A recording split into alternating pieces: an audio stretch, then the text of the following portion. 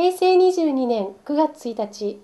内巻温泉ホテル三王閣で210日の神事が行われました。文豪夏目漱石ゆかりの宿であり、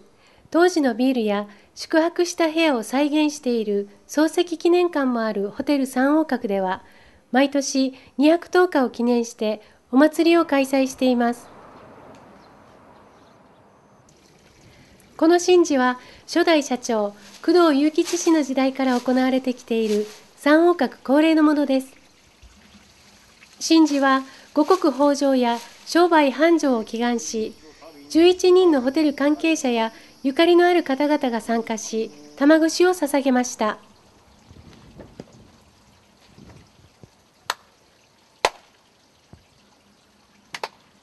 ホテル三王閣ではこの210日の記念に漱石祭を開催しており、